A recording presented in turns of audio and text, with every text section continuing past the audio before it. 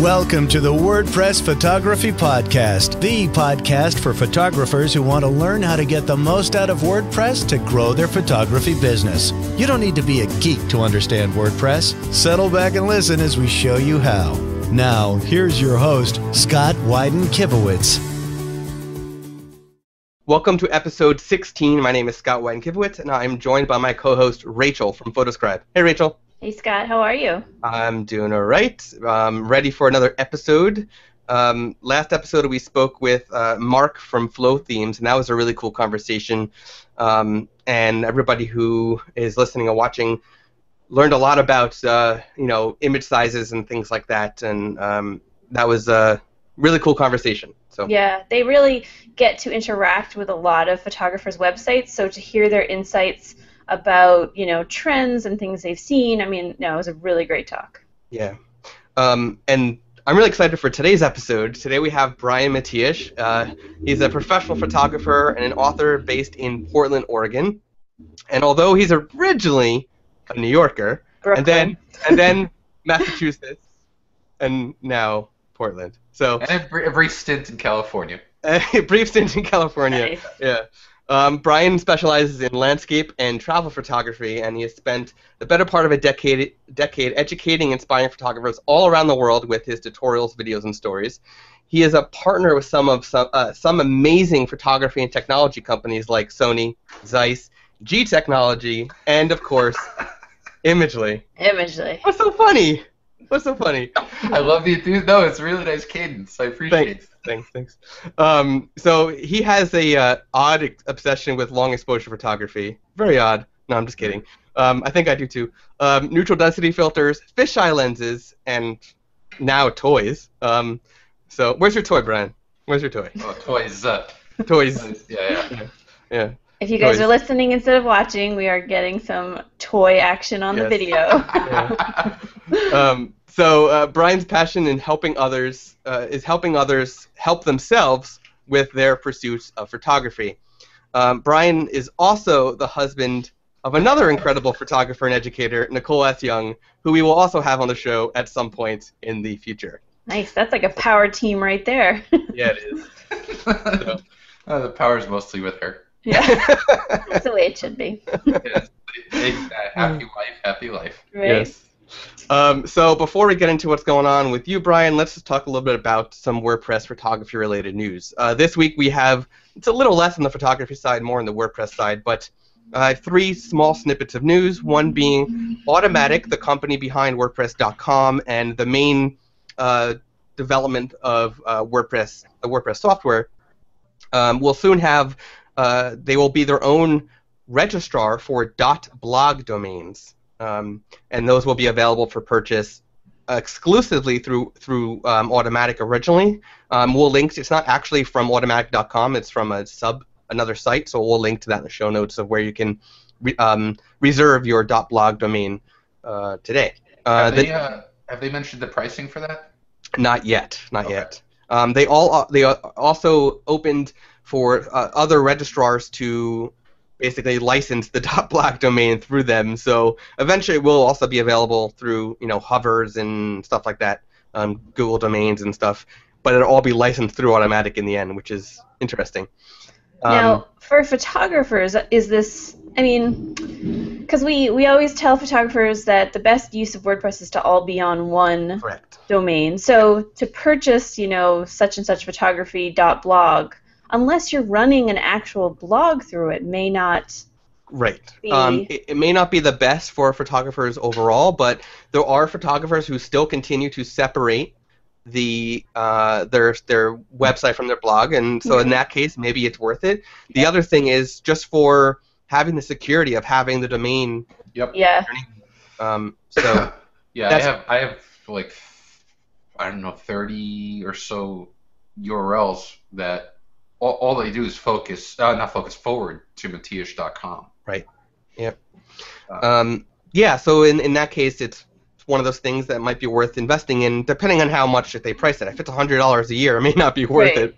You know, So it's- is it something like where you buy the domain and then you could, you still have a you can you have a different hosting plan, right? So like Imagely or GoDaddy or that is soon to be determined. Okay, Um, all right. So we don't even know that yet. Awesome. We don't even know. Yeah, right now it's really just a landing page where you can reserve the the the, the you know your domain.blog. So Yeah, right. we'll see. Um, the next thing is uh, Caldera Forms. If you are using Caldera Forms, it's a, a form plugin. There is a medium severity uh, security update. Um, so make sure it actually is as of today, which is May 24th, the time we're recording this. Um, they just released an update. Uh, they're saying it's medium severity. They didn't say specifically what it is, but update it if you are using Caldera Forms. Um, and the last bit is uh, WordPress 4.6 is already in development, and there's a bunch of things they're doing, but one of the uh, changes they're making is an accessibility improvement to the tag and category pages. For those who don't know what accessibility is, that means anybody who is uh, deaf or blind or have some sort of disability, they will be able to, uh, there'll, there'll be enhancements towards that on the tag and category screens specifically. I wonder how that's going to affect. excuse me. I wonder how that's going to affect SEO because I know. So, if if you have a disability, sometimes you can interact with the web differently using readers that will actually read the web pages, um, and that's what the categories and tags were originally. Well, this Read- is this is for the back end right now. This is Right.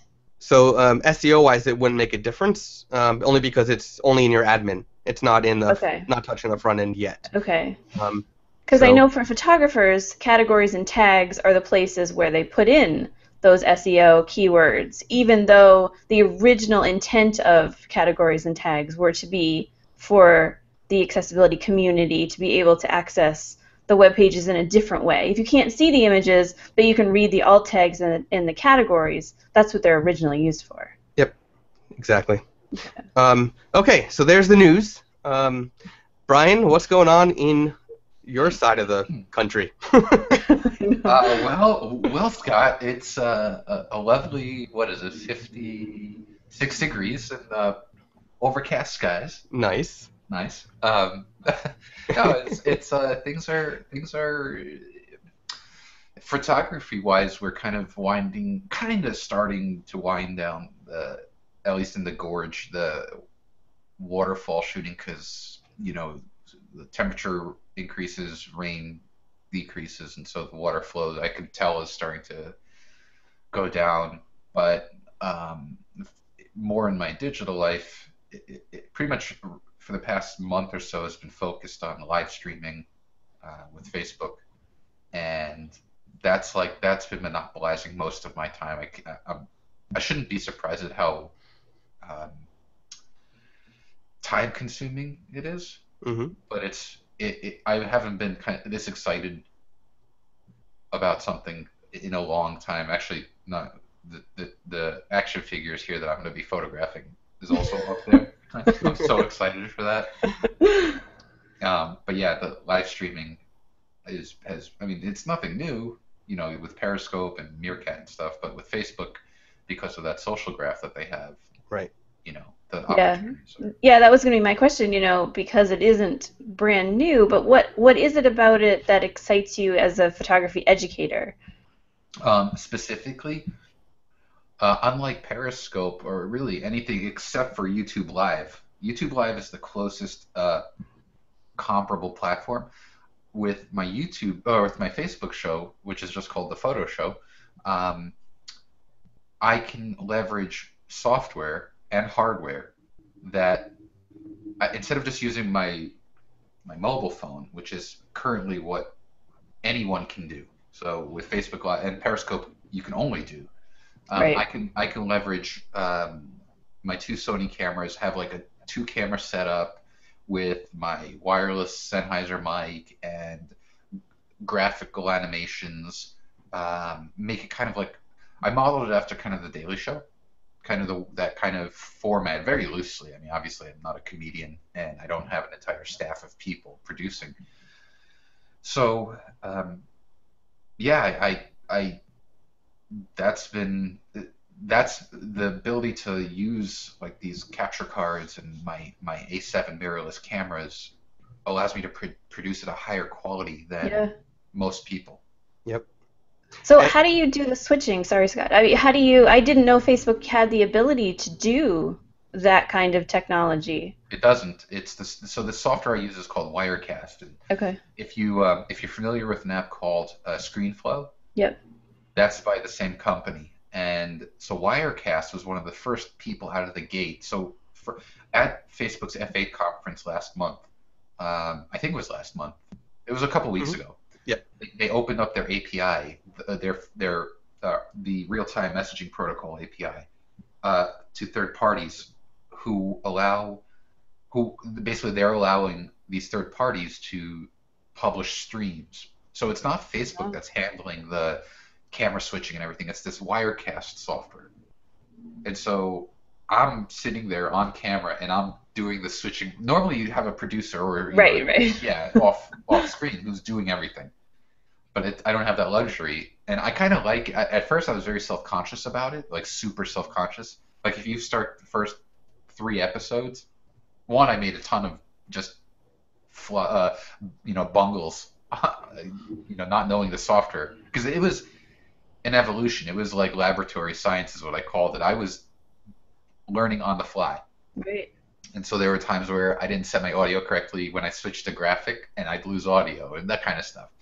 Um, but I've gotten pretty comfortable with it now, and like any, I guess, show, uh, the product is a rep- is a reflection of the uh, preparation you put into it. So I always before any show, I always have to go out and create the graphics and get you know all the assets ready and lay everything out and get the animation set, and um, and then there's the whole. I have to do a, a prep video to my profile page, saying, "Hey, we're going live in like 30 minutes." And it's it's it's a whole thing. Well, you've made it into a show. I mean, you really made it into a production quality versus what most people think of Facebook Live for as an impromptu sort of selfie session. But that's great as a solopreneur f- for photographers. I mean, it, it almost opens up these unlimited usage. It does, but here, so uh, well, first of all, had I known that all I needed to do was get a, a Chewbacca mask and just start laughing, I would have done that. Do you not love her? I love her. You know what? I uh, I watched that video. At first, I was like, "What's going on?" Like, and it wasn't until she started just like just that busting out laughing. Right. And then if you wait till the very end, she says like, "It's the simple things in life" or something Yeah. like that. Yeah. And that was, and then video ends, and I think that was such a great way to end the video. And totally, I mean, she, she was just on James was it Con- Condren? Yeah. Called air. Yeah, the the the the um carpool karaoke type of Yes. thing. If you guys don't know what we're talking about and you're listening to this, you need to Google Happy Chewbacca video. It just went viral, I think, this past week. So again, we're Yeah. May 24th here, um, and It's she is she's making the circuit of like the li- the morning shows, and she's just full of joy. You can't not laugh with, with her and Yeah. enjoy life with her. You can, you can tell that it, it was 100% genuine. Like, Oh, there yeah. was nothing phony about it. Um, I think she was expecting like ten people to watch it, and uh, it's it's now the most viewed Facebook Live video currently. It's like over 120 million views. Right. I mean, there are. I mean, cable companies would slaughter their kids to have Right. that kind of. Right, no, for sure. And again, she took that selfie style that we were talking about, in, in not the production that you're talking about, but just sort of one person. But she made it um, genuine. I think that really is the best word for it. It wasn't. uh, It wasn't about her, like her day per se. It wasn't about negativity. It was about just like, hey guys, I'm here. This is awesome. Yep.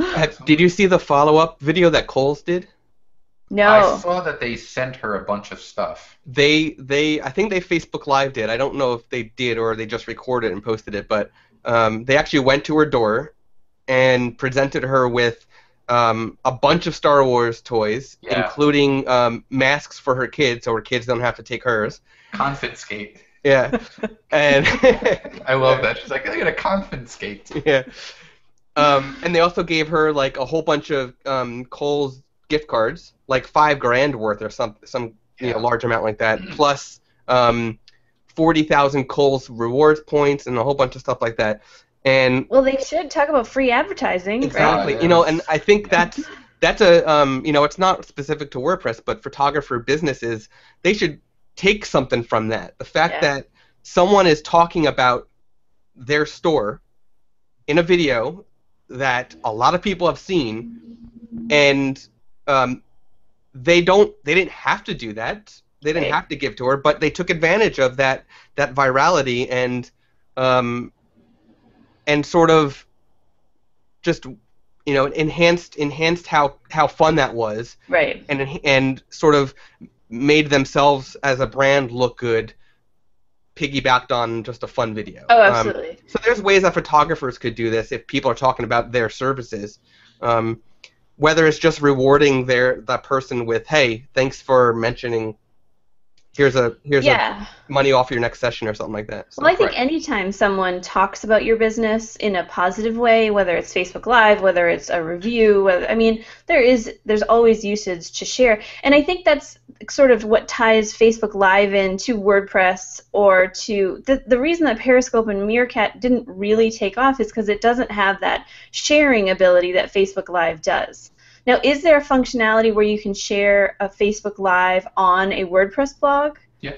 Okay, so I mean, right there, there you go. Yeah, you know, actually, one of the one of the topics I want to talk about um, was actually how Brian, you and I know I know the answer here, but I, I want you to talk about how you're sharing this these videos on your website and why you're sharing them on your website uh, and what you do different on your website than than what you do on Facebook. Yeah, I'd be very interested in that too. Sure. Yeah, and that's a. I mean, I knew you were going there, Scott. And it, this is actually so. There's a lot of, um, I guess, um, what's the word? Dimensions or what? I, I I am conflicted in a lot of ways. So let's start just with the simple broadcast itself before we even get to the archive. Um. So right now, my profile, my my Facebook profile, has like it has like 262,000 followers. Great. Happy, you know, whatever. My page, which is currently where I broadcast my show to, um, that has a, just like 4,600 followers. Or, no, 4,200 followers. And the reason why I'm so kind of, I've been so adamant about going to the page is because that's, you know, the page gives you more robust metrics. It gives you the ability to boost posts. Right. It gives and and Facebook, you know, they're they're quite clear that, you know, I'm doing these live videos to promote my brand, and my brand is not. I mean, technically, it's an individual. It's a person, but I consider myself. I'm incorporated. Like I have, you know, Matiash Incorporated, and so like I'm a company. Right. You are your business. You are your brand. I am my exactly. So so the first thing Scott was like, yeah, I, I kind of wasn't sure. Should I be publishing to my profile because it has, in theory, a much larger audience, but then you know it's subject to Facebook's algorithm, yada yada. I ended up going with the page because I want to. I'm trying to grow it organically, but I am also boosting some of the, the the the episodes that I was I'm really happy with, like the outcome or you know the, the quality of it. I'm boosting those. Like I'll do like five dollars a day in Facebook ads. Um, so to your question, Scott, in terms of afterwards. So here's what here's how it works. Wirecast um, has multiple output methods. So one of the output methods is Facebook Live, and it uses the real-time messaging protocol. Facebook limits a maximum resolution of 720p. That's just the way. That's their thing. It's not. It's not on the user end. And that's all well and good to a degree. Um, it's enough to. It's high enough quality to watch on you know, streaming on your mobile phone, and then it kind of you know you get it goes. You start to kind of get this um, decline as you view it on higher resolution displays. Right. Fine. To mitigate that, though, um, you can also uh, Wirecast allows you to record simultaneously locally. So while I'm streaming, I'm also recording locally at 1080p. Oh wow. Um, and that's also, you know, it's the audio is, um, it's not, it doesn't have to be compressed over, um, over Facebook. So Yes, the, so the audio sounds better as well as the video looking better. Exactly. And so when I take I take that um, that uh, f- recorded file I open it up immediately to ScreenFlow and I shave off the five minute countdown timer that I use. Um, uh, that I, you know, when when I go live, I, the one, the first couple episodes when I went live, I got feedback that like, you know, hey, I saw you went live, but you're already like a few minutes into the show when I got in. So I built a countdown timer in After Effects, and basically, if the show starts at three o'clock, the countdown, the five minute countdown starts at three. So at 3:05, I cue my bumper, which is Oh, nine seconds long, and then I go into the show. And so I, I for the recording on you, that I post to YouTube, I want to shave that off. Facebook, I, you can't edit a video on Facebook, and you can't replace a video. So That's good to know. yeah, so if you look at my countdown timer, below the count the clock itself, it says if you're viewing replay, skip past this timer, because I want people to know. The other thing that I do with the countdown timer is I set the opacity to about 70%, so that below the countdown timer, I have the main my main camera feed, so you can see me. You can see that there's something going on. It's not just a static countdown timer. Right. So, um, so again, back to Scott's point. Um, I take that, that 1080p file and I upload it to YouTube. And um, when the when it's uploaded and it's processed, I create a blog post on my on my WordPress blog and I embed the YouTube video Right. and I allow it there. So, I I- another conflict I have is so. For instance, this morning I sent out an, uh, a newsletter, uh, my my e-news to my audience, and I was really um, I, I I'm always torn because I don't know whether I should push them to the po- the Facebook post Right. which, which gives me a higher view count. And in theory, I don't know if that's going to help with Facebook algorithm. Or do I send them to my post on my website, which gives my blog higher session count, also increases my YouTube view count.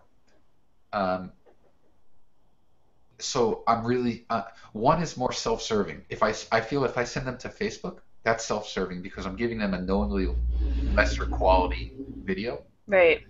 But But you know, the bottom line is this is I I build this the way I build this show is it's the first Facebook Live show focused on photography and video.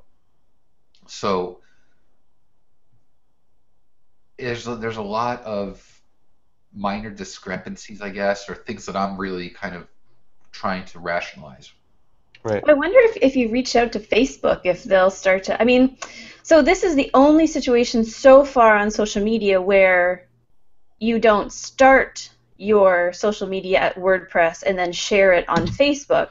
Correct. You're starting it on Facebook and then you're sharing it through the methods you talked about, YouTube, and exporting it a different DPI on your WordPress. So, Well, actually, to, to- uh, let me touch on that though. Yeah, Rachel, that's a fair point. S- You asked this question. The fir- before this whole setup, before they open up their API, I what I would do is I would take, I would do my live show. It wasn't even a live show. They were, it were like they were like video segments. I would record them on my phone, um, and I'd use uh, Reflector, which is a Mac app, and essentially allows me to mirror um, my iPhone display.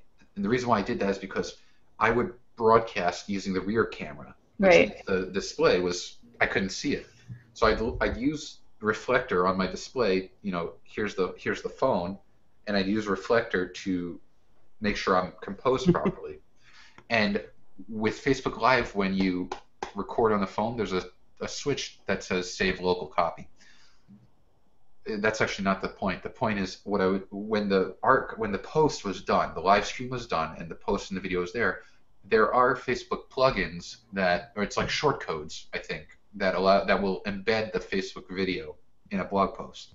okay, so you can do it that way. What you're sacrificing then, though, is the image quality Correct. Yeah. and, the, re- and audio quality. the Oh, yeah. resolution. Yeah. The Yeah. overall experience. Um, so you know some of the advantages of, of having the content on your blog um, are branding. You know, it's on your website. People are there. They can navigate to other content, subscribe to your email list, and so on. Buy an ebook, buy presets, whatever. Um, you also have the chance for link building. So, for example, um, we're going to be linking to your, uh, you know, one of your episodes. In fact, I think one of the ones I want to link to in the show notes is um, how you're actually the video where you talk about how you're actually doing it, where you show the equipment. Yeah. Right. Yeah. yeah. Um, so that's a link, right? So that's helping your SEO because now you have us linking to your site. You can get you're going to have other you know um, uh, you know Resource Magazine might pick up the fact that you're doing the first Facebook photo show, right? There's more link building from a great media website, you know. So you're you're going to wind up getting more and more of that, which in turn will help you more than just having it on Facebook only, right? Because Sure. because now you have um, you're building up your SEO for your entire site, but also you you also increase the chances of getting more people on your email list, which is far more important than just a Facebook like. Right? Yeah, yeah, and and and yeah, and in talk, so it's funny. I'll have these kinds of conversations, and I'll start to second guess myself because now I'm like, well, should I do the best of both worlds? Meaning, create the post on my website, but embed from Facebook instead of YouTube, um, and just kind of like let YouTube get its views organically on YouTube through my subscribers there, um, because I feel like I'm running two races at the same time. Like, I, like I really should be focused on either bolstering my Facebook view count or my YouTube view count. Well, I think Uh, you're one of the first ones, so it's sort of like you're the test case, I, you know? I, I, I guess so. Yeah, and I'm happy to do it. I just, I might. I know. I don't know that there's a right answer. I think that this discussion is, and in my head, what I see the discussion going again is SEO. Like, where do you want the traffic? What is more important to you? Yes, like we always say from a WordPress point of view that you do want all this traffic back to your blog, back to your website, because it translates into other things like link building and email list building. Right. But some of the questions that I get as a blogger um, is, well, we're on Facebook. All of our clients are on Facebook. Why do we even care about the blog anymore? You know, and obviously my answer is because you own the blog. It is a place for link building. It is like all those things we discussed. But in this situation where you're talking about Facebook Live specifically, what is more important? Is it the Facebook likes, or is it the link building, or is it just So- putting out great content? You It- know. To, to me, the fact that you can build up an email list by getting people to go to the site, Right. um, and you can, you know, Brian already has a really great. Um, is it weekly at, right now? You have a Uh, weekly it- email or so? You know, it's funny. Um, it, it's. I made I did a survey monkey poll a while back, and I asked Mm. people what what's the frequency they would prefer, and this one guy he did like other, and the, and you know qualified it by saying, whenever you have something to say. Right. Right. And so yeah, So it's not really it's not really on a schedule. It's it's five to ten days, I would say, or seven to ten So- day frequency. So, and you're already putting out a lot of content, great content in the email that you send out, and um, to be able to push people to the live stream, to be able to interact with you live, Yeah, that's is right. So that that's one thing. So you're you're you're building up your email list, and then you're able to send them to Facebook through the email list. But the other advantage is when you do the Facebook ads, you can actually target your email list right. specifically. So Right. at the same time, you can get people to like it by them subscribing to your email list or your website. So for Correct. people listening who are photographers and may not know that technology, Scott, how w- can you walk someone through the Facebook linking to your email list? So um, Facebook has a section called Audience, Audiences, I think. Um, and when you create an audience, you have the ability to, if you use Mailchimp, you can actually link, um, basically uh, authorize Facebook to access your Mailchimp account, and it'll automatically import your Mailchimp list. That's Don't you have to pay? Isn't that an additional fee with Mailchimp though? N- n- uh, as long as you're a paying customer, not a free customer, then they, they give you access to the API. Yeah, I think you have to be at the paying level on Mailchimp Yeah. versus Yeah, the which- free level. Oh, I thought there was. Wasn't there a like a? s- I thought there was an additional service called like Social social profiles, I think. That's something like that. that's um actually in their reports for your audience. Okay, never So mind. that, that yeah, that tells you the the interactivity of that um, list member in the report. Got it. Um, so if you don't use Mailchimp, if you use um, you know Aweber or something like that, uh, you could actually export a CSV file of your list and upload that into Facebook's audiences, and it'll do the same thing as the Mailchimp auto one would do, where Awesome. it just it looks at the email addresses, correlates the Facebook account to those email addresses, um, and then you can save that as an audience and target that audience specifically in your ads. And we should say, I mean, because it's a WordPress podcast, that Facebook has that functionality of the audience building.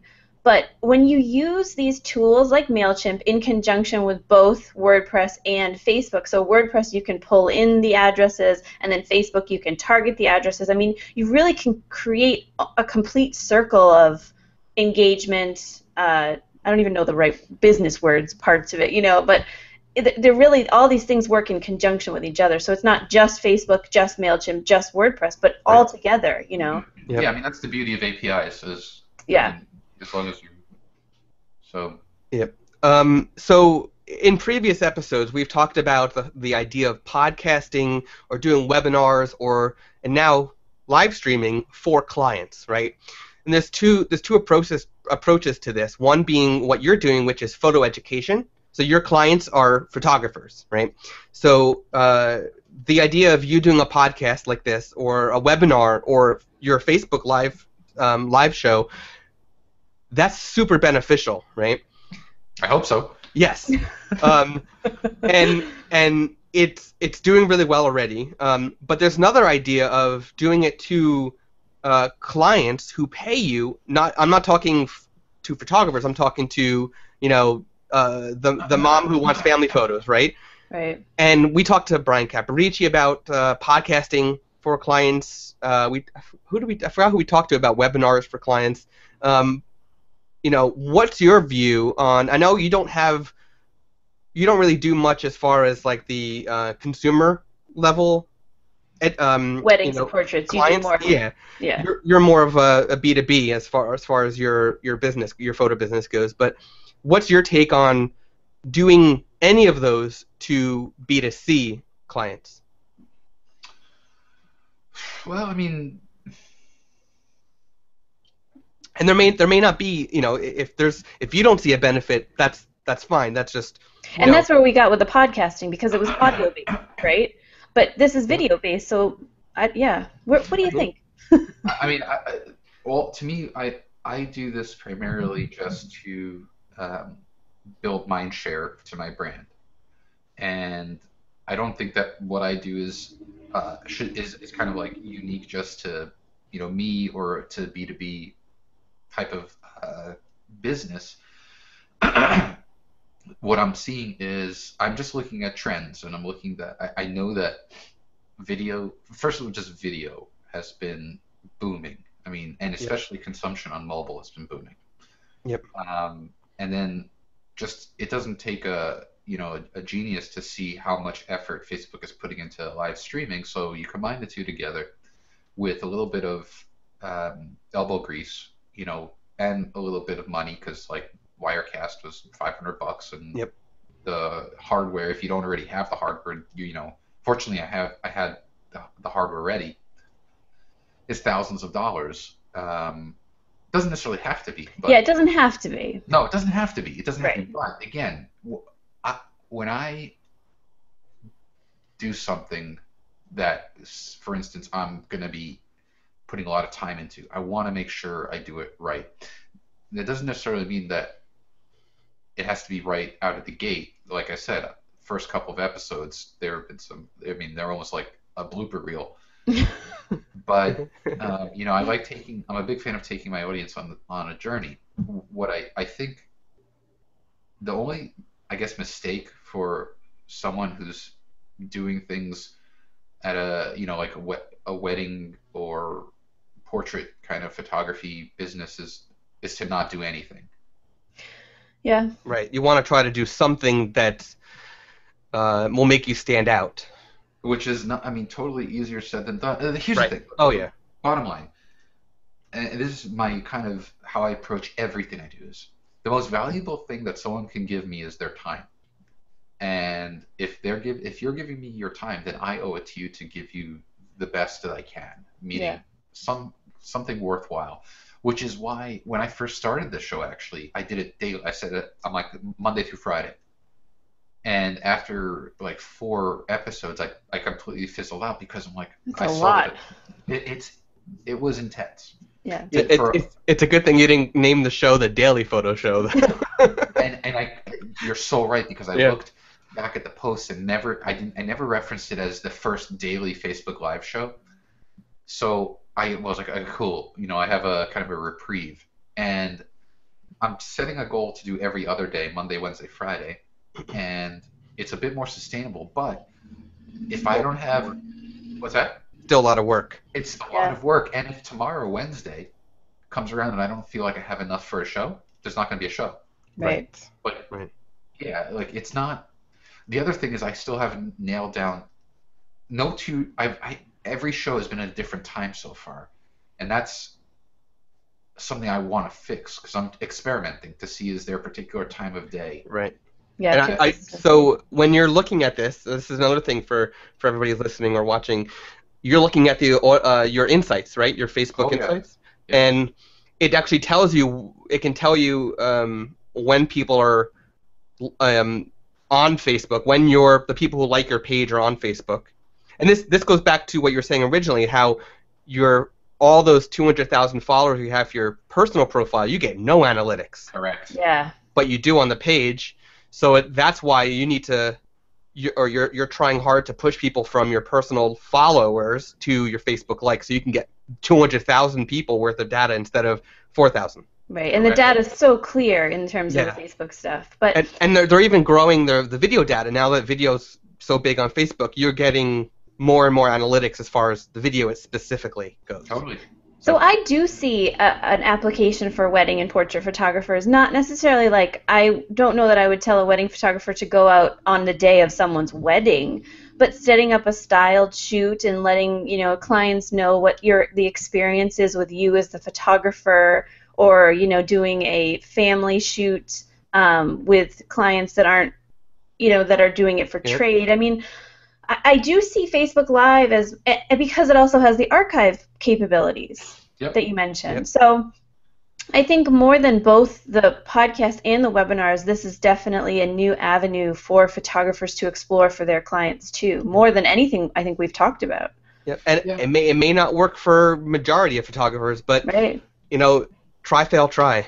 Right. Yeah. Right. That's it. Listen, you know, the, the there there are certain um, variables that that you have to be very comfortable with uh, that aren't present in something like a well, I guess a webinar is live, um, but you have to you know be really comfortable with presenting yourself, but also even more importantly, how you handle when something messes up, which Right. invariably will mess up. Yep. Yeah, I feel like Facebook Live is a lot easier. And I know you said, you know, the Wirecast and the, I mean, you're taking it definitely to a next level with production wise. And I think that's great because I think there are people who are listening or, that are going to want to emulate that and love that. I mean, I come from a TV production background. So to me, like, this is total geek out stuff. It But- reminds me of like a, a the, the the interface reminds me as if I was a, a, a newscast producer. Yeah. You know, And you can do that in your house, right? That's awesome. Yeah. I do right here. I mean, here. Look, I mean, for those, this is the setup. Um, so there is the main camera. So it's on a video tripod. The camera's behind a, a teleprompter. Yep. Um, wow. I mean, you know. Yeah. And then I have a little uh, Atomos Ninja Assassin, which because I I can't see the composition, so the it's a Right. that's a monitor there, and then right there is my side camera, and then I've got these LED banks with with with a Puffs Plus diffuser. Nice. yeah, so I mean, you really have a professional setup, and you've you've taken the Facebook Live live to the next level. But I mean, a photographer could do this with their phone and being out in the field and have an assistant holding it and talking at the same time. And so to be able to do both super high quality production level and then super and I'm not calling it low production level, but like ease of production level. You don't have to have a degree in television production to do it. right. I think that it opens it up to everybody, and then the archival properties, the fact that you can bring it back to uh, WordPress, whether or not you use the YouTube or the 1080, it, you know, those discussions aside, the fact that you can do it makes all the difference. Because I, I don't, I just we're we're always on this cutting edge of stuff, and I I see this as a application that a lot of photographers can use to their audiences of people who want their pictures taken. Yep. Um, Before we move on, uh, the last thing I want to say about this is, um, and Brian touched on this, um, is if you're going to attempt this, um, and you're going to go the route that Brian did with Wirecaster or Wirecast, um, it's easier with a team to produce it than it is to manage it by yourself. But Oh God, yeah. but it is manageable by yourself. Is Wirecast Mac only? Because I know ScreenFlow is, right? Yep. No, this is it's cross-platform. Okay. Yeah. Well, Uh, I think. Do you want to move into um, our next section? Is usually guest recommended WordPress plugins and or themes. So Yes. you know, we talked a lot about Facebook, um, but how do you use WordPress, and what do you use in WordPress that you would recommend to other people? Totally. Um, so currently, my site is built upon the theme is is X theme, but um, you know, and, and Scott has actually helped me quite a bit just over the years. Um, the one plugin though that from a so from a photographer's perspective, the one plugin and Scott knows this that I am pretty adamant about is uh, FooBox and it's a it's a third party Lightbox app, but it's in my opinion one of the most elegant ones. Is Uh, it F O O? yeah, Mhm. Okay. Um, but and I, I just like the way I like the way where the animation uh, that it uh, has when you open up a photo in Lightbox. For me, the the number one requirement for my website is every single image has to open up in a Lightbox. The featured image, uh, any image embedded in the post. Um, and I also like it because when the Lightbox opens up, if you hover over it, you get these little um, share intent icon, so you can share to Facebook like right there. Right from the Lightbox. Yep. And then, but in terms of a plugin that I, I really, um, I just got into and, and actually talked about it on my show yesterday. Um, it's called, uh, let me actually get the, uh, the, I'm going to my plugins page because the, you can customize the, with the name in the sidebar of WordPress. It is called uh, Mini Orange two-factor authentication. Mini Orange. Yeah. And so, yeah, curious. Mini- Um, I'm curious about it, and uh, aside from because I've I've never heard of that one, I'm curious what uh, a little bit of, if you can tell us a little, a little bit about it, but also why you went with that instead of the Google authentication. Um, so Mini Orange, yeah, I mean, I went to, through Mini Orange because it's it's one, it was very highly rated, and when I did a Google search for two-factor authentication plugins, I think that was the, the number one. we should Um, probably stop and say what is two-factor authentication Sure. before. So, two-factor authentication is a concept, a security concept of combining something you know with something you have. So, when you log on, uh, when you log into any account with two-factor authentication, the the something you know part is your password. You know your password. Yeah. The second factor is something you have, which is typically your phone. So when you have an account that is uh, enabled for two-factor authentication, once you enter your username and password, um, you have a second prompt to enter in a PIN, or si- usually a six-digit PIN, um, and that is the second factor, and it's sent Okay. to your your phone or your tablet, whatever you have authenticated. Um, and that basically means that if your password, if someone hacks your password, unless they also have your phone and they can get into your phone, they can't continue the login process. Right. So it's really the one of the most secure ways n- that out there right now. Yes. Right. I mean, it's it's and and the, the what's important to know is that every 20 seconds that PIN code gets uh, uh, changed based Right. on a a specific kind of timing algorithm that's unique to the device. So- Um, Are, are you use so there's a uh, I'm just looking in the plugin directory. Uh, there's a bunch of them. Are you using the the Google Authenticator Mini Orange plugin or a different one? So it's just co- it's the Mini Orange plugin, and and I actually pay the premium, and that actually allows you to have to choose what kind of authenticator you want. So I do ha- within the if you want, I can share my screen and show you. Sure. Um. Yeah, that's fine. Um, so let me just go.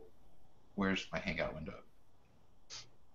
Actually, let me make sure I don't show up the my API and token keys. Right. All right, here we go. Uh, sh- So, I'm sorry for anyone who's listening. Just pretend you're viewing my screen, Or watch the video on the show page. or, or do that.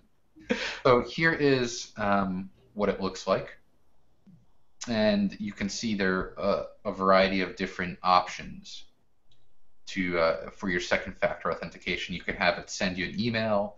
You can do OTP, which is um, uh, over uh, a text message, meaning you'll get the passcode. Uh, Instead of using an app, you can use a text message.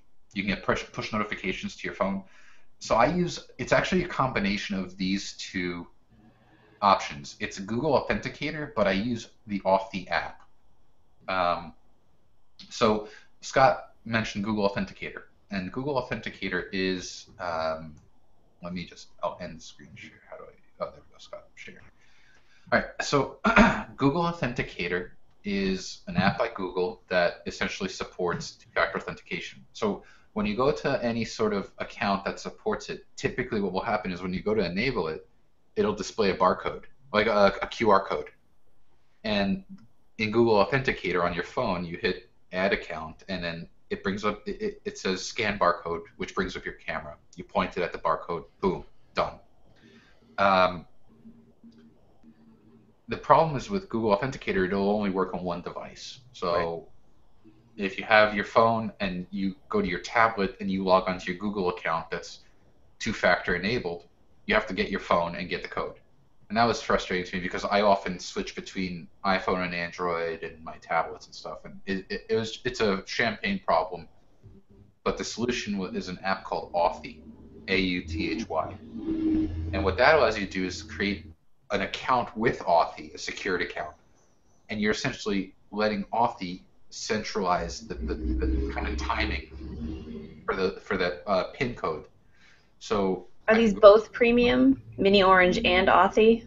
Authy's free, Okay. uh, uh, um, and well, the app is free, and then Mini Orange to get the f- options that you'll want.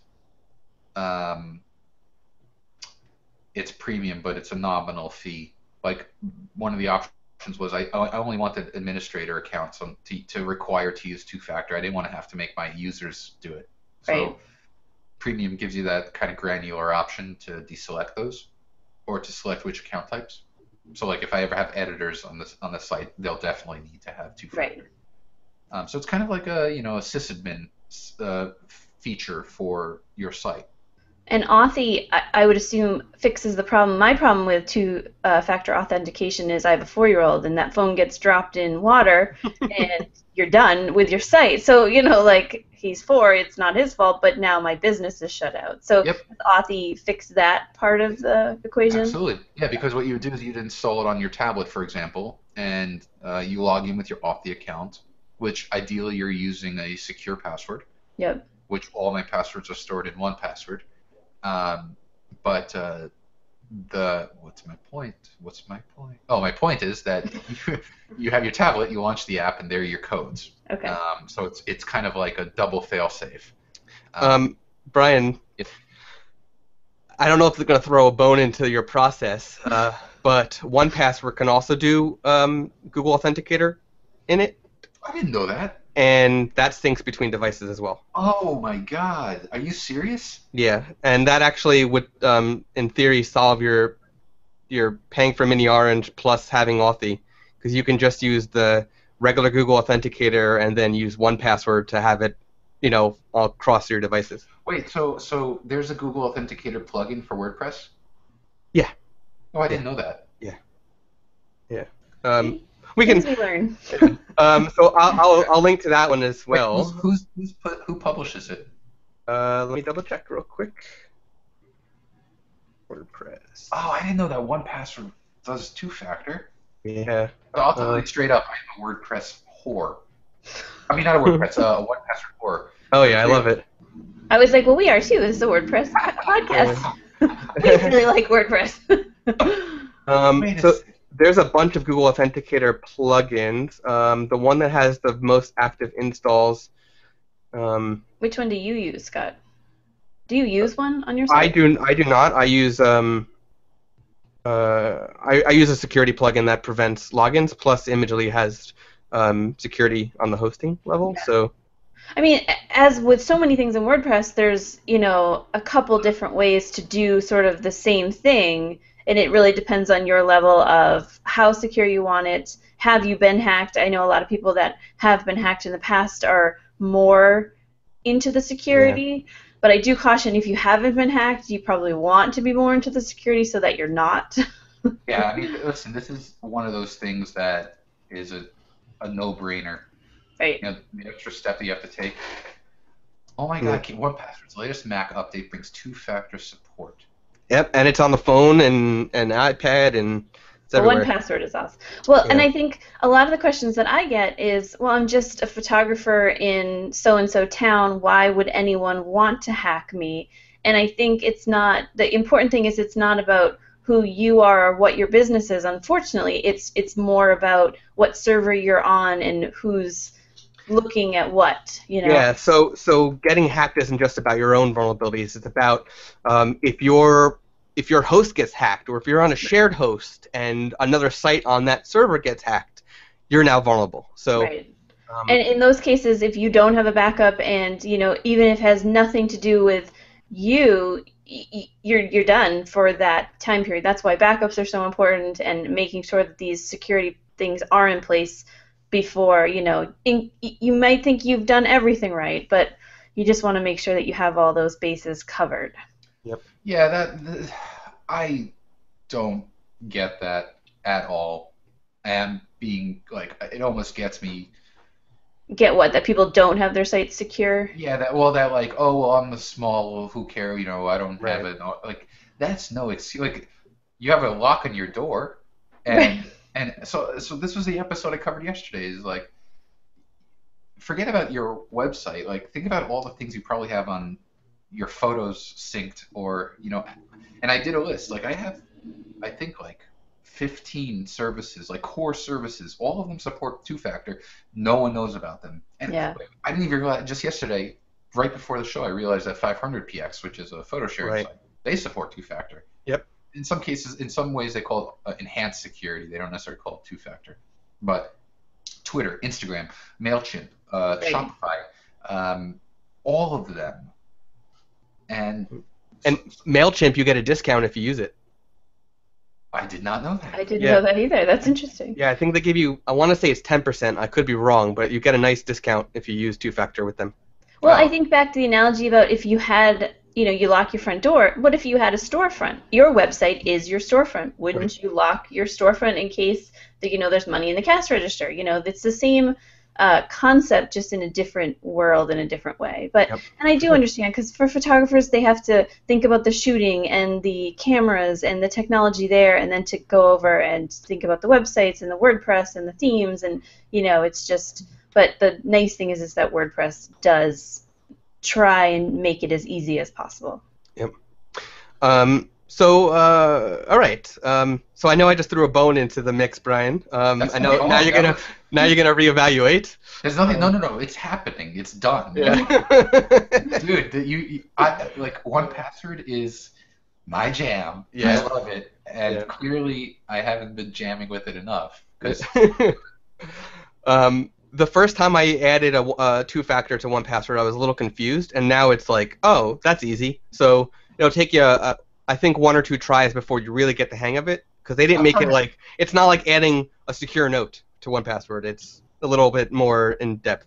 Uh, and we can't should say 1Password is outside of WordPress. yes, yes. It is a Yes, separate yes. application, but it's great because you can use it for all, literally all of your passwords in anything that you use on your computer. So Yep. correct and, and very secure. Basically i um it, you know what it, it works on a secure database and that database i have it set to dropbox. So the yeah the first thing i do if i build a new first thing well first i log into apple my apple id for for icloud. Second i log into um, google for chrome. And then the 3rd Mhm. thing is i download and install dropbox. And when you first launch 1Password you can tell it it, it asks if you have an existing database and where and you say and it dropbox is an option and boom everything's there Yep. So you're saying with like a brand new computer out of the box, you're I'll have- all totally linked in. Yep. LinkedIn, I- but I- totally like everything's already customized because of these things you have in place. That's correct. Um, Awesome. I do I do kind of wish that they supported Drive Sync, um, Google Drive, because I just like two weeks ago I, I migrated from Dro- Dropbox to Drive because I don't know why. I think you get more space for less money, right? Yeah, I mean it's it, well it's not even the space per se. It's um, oh I remember what it was. I know what it was. It was a camel straw broke the camel's back. I was in Word and um, typing a document up, and in the latest version of, of Office for Mac, Office 13 or whatever, 15, there's a little Dropbox icon on the Right. right. So I typed this post for for Zeiss, a guest post. I hit the button and I do the share with thing and I type in the title and I send it to her. The oh and then the link is sent to her. I quit, I go away. She comes back to me and she's like, the link goes to 404. And so you, my assumption, the freaking rational assumption was that when you generate the link and set the document name that it saves the document, you know, in Dropbox and no, no such thing. The Wow. document was so after that I was like, I'm done. I will only use Office if a document is presented to me that I need to open. But in other words, I'm using Google Docs, Google. Yeah. Google Docs can open a Word document too. So. Right. Exactly. Yeah. No, Their functionality is amazing. Well, so we've talked about. Oh my gosh, I feel like everything: Facebook, WordPress, One Yeah. Password, Docs, Dropbox. But um, is there anything else that you kind of want to end on or close on? Um, I mean, just don't don't be lackadaisical about your security. Just Ooh, that's a good quote. Yeah. Don't be lackadaisical. lackadaisical, lack cackalackadaisical. Nice. About your security, and try out Facebook Live and check out your. So where can we find you on the web? Oh, yeah, sure. Maybe that's a good way to close. oh man, I need to. I, my my marketing director needs to punch me in the face. Um, uh, so my website is just my last name. It's matiash.com, M-A-T-I-A-S-H. But I also have, I got the photo.show. So speaking earlier, we were talking about kind of uh, vanity top level domains. nice. Yeah, I got the photo.show. Um, and I think right now, actually, I'm not even sure. This is how Is that is that is that a forward or is that um going to a new site that you've created? it's currently going to a 404 because I need to go to Google. Dom- I use Google Domains to manage all of my domains. Mhm.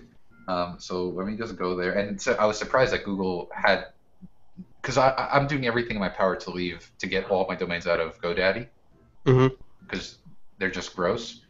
Um, I have the photoshow.net, so forward. Oh, I'm not forwarding it. Crap. All right, so here's okay. Here's a. Per- I know we're kind of running late, Rachel. I apologize. Um, but this is another All thing. good. Like, do I? I can forward the photo.show to the category URL right. because every every photo epi- show episode is dot is a the photo show category. So do I bring it to my site or do I bring it to Facebook? I think to bring it to my site. Yeah, I would. I would. Yeah. I think So- they have more functionality there. Yeah, so now I have to find that um, that category and yeah. So anyway, sorry to. By the time you, That's right. this this episode is is uh, broadcast, if you go to, to the photo dot show, that will give you access to all of the um, high re- uh, high definition archive episodes. Yep. And if you want to see, if you, I'd love for you to participate live. Just like my page which is uh, facebook.com forward slash Brian Matiash. Awesome. Awesome. Yep, we will definitely be linking to those in the show notes. Yep. Um, so thank you, Brian, for joining us today, and thank you, Rachel, for being an awesome co-host. Thank you, Scott. Um, you can find the show notes uh, from today's episode at imagely.com slash podcast slash 16. 16. Yes. So until next time. Bye. You've been listening to the WordPress Photography Podcast. To listen to other episodes and to subscribe to the podcast via iTunes, Stitcher, Google Play, and more, please visit imagely.com forward slash podcast.